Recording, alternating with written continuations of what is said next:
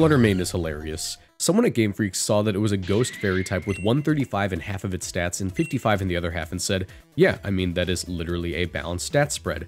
This is their idea of balance. If you enjoyed this video at any point in time, be sure to leave a like and subscribe because I make tons of competitive Pokemon content. Actually, you should really just subscribe right now because I have a playlist full of content like this for you to check out right after this one. Well, let me explain where they went wrong with this thing. It's fine to make Pokemon glass cannons, Kartana proved that. They gave it ridiculously high attack, pretty great speed, and an abhorrent special bulk. Its typing is great in that it only has two weaknesses, but the fact that many other Pokemon can reliably outspeed it or do so with just a little bit of help means it's constantly under threat of getting one-shot.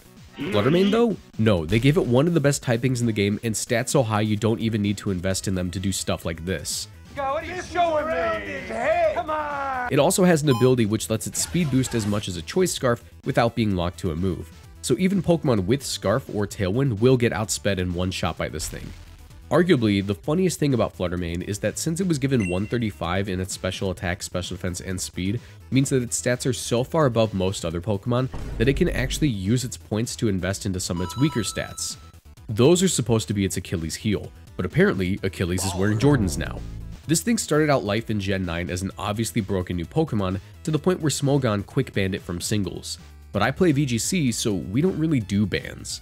Usually what happens with these sort of scenarios is we have to play a few months with an obviously broken Pokemon, full-time haters like myself spread teams that hard beat this Pokemon, and the metagame adjusts to the point where said broken Pokemon is either a healthy part of the metagame or just straight up non-existent.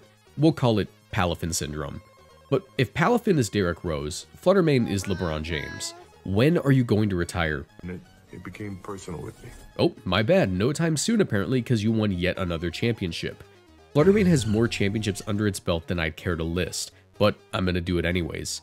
It's won Orlando Regionals, Knoxville Regionals, Vancouver Regionals, Charlotte Regionals, Fort Wayne Regionals, Portland Regionals, Hartford Regionals, Milwaukee Regionals, Fresno Regionals, the Cagua Special Event, Malmo Regionals, the Turin Special Event, Natal Regionals, Sao Paulo Regionals, the Buenos Aires Special Event, the Lima Special Event, the Bogota Special Event, Perth Regionals, Sydney Regionals, Kaohsiung Regionals, and the 2023 World Championships all in the same year it was released. I'm not even going to tackle the 2024 season because we're not done with that yet, but yeah, it's got some wins there too.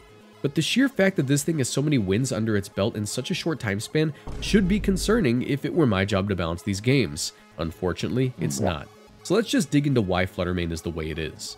From a fundamental point of view, a Pokemon this strong and fast should not be given the Fairy Ghost typing, not only does the Fairy typing make it one of the most threatening sweepers in the game with Stab, Tera Fairy, Choice Specs, Dazzling Gleam, and Moonblast, but the Ghost typing means that it's immune to the best counterplay we have against Glass Cannons, Fake Out.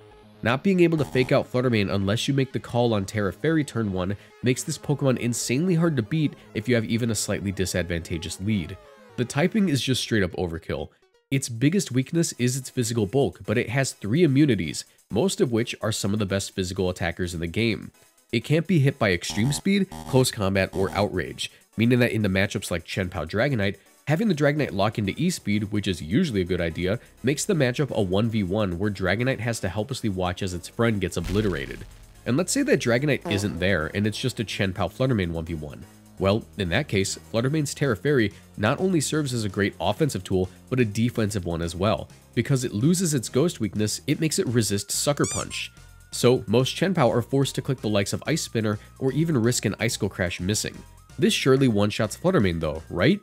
No! In fact, almost none of them get one-shot by this anymore.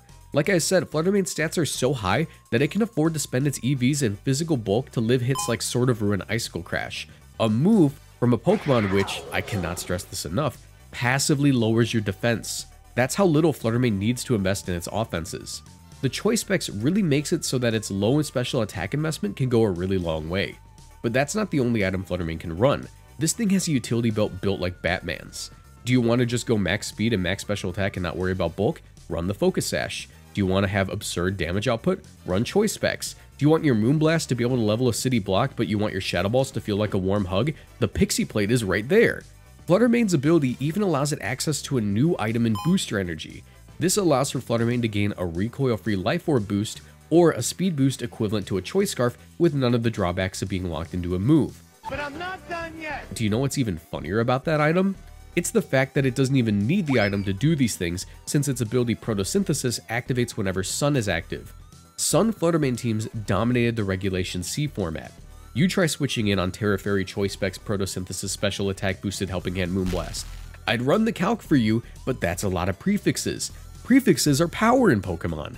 It doesn't just knock everything out, you gotta go get a new one. Hoppip isn't coming back, bro. He's gone. We haven't even talked about Fluttermane's move pool yet. Fluttermane has access to basically every tool it needs to function on any team. Moonblast, Dazzling Gleam, and Shadow Ball are all givens, but this thing also has access to Thunderbolt for coverage, Mystical Fire to beat Steel types, Taunt to stop Trick Room or setup, Calm Mind to set up itself, and Perish Song as a win condition versus stall teams or Dondozo. Mind you, any one of these could be run as a fourth move. Even Perish Song gets run on choice spec sets as a contingency plan for Dondozo or Registeel. It doesn't matter if you get locked into it, you can still win. Nah, I'd win. This thing might be the perfect offensive Pokemon. If Incineroar is the perfect support, this thing is certainly the perfect sweeper. It fits on basically any team. We even see people running double ghost types occasionally by putting Fluttermane on a team with Gholdengo to beat everything that Gholdengo can't. And trust me, this thing might start off as a bench warmer, but the more you use it, the less you bring the other Pokemon. Eventually Gholdengo won't just be a bench warmer, it'll be the whole water boy. And don't get me started on this thing's future. It may be a past Pokemon, but the future looks really bright for Fluttermane. Eventually, it will have access to possibly the two greatest partners it could ever ask for, Groudon and Koraidon. Both of these things have abilities which set up Sun. Historically, Groudon has paired excellently with Xerneas to form the powerful Xerndon combo, but Xerneas has gone on a bit of a vacation this generation, so they'll have to settle for the nuclear baby. Not only does Groudon activate Protosynthesis with its sun, but Fluttermane can now provide Groudon speed control with Icy Wind to let it outspeed even some Scarf Kyogre sets. Dragons have historically struggled to find a place in VGC due to the existence of Xerneas, but this thing has nearly equivalent damage output with far greater immediate speed, meaning that even the quicker dragons can't hope to snipe it before it gets going, unlike Xerneas. But we're looking too far into the future. Maybe we'll return to this Pokemon to cover it once again after it wins its 50th championship. But if you enjoyed this video, be sure to leave a like and subscribe. Let me know if you like this type of video and what Pokemon I should cover next in the comments section below. Consider becoming a channel member or a Patreon supporter like all the lovely people whose names are on screen right now. Links to both of those are in the description down below, and there's more videos coming up on screen on a playlist right now. So if you want to check those out, I'd really appreciate it. Thanks for watching.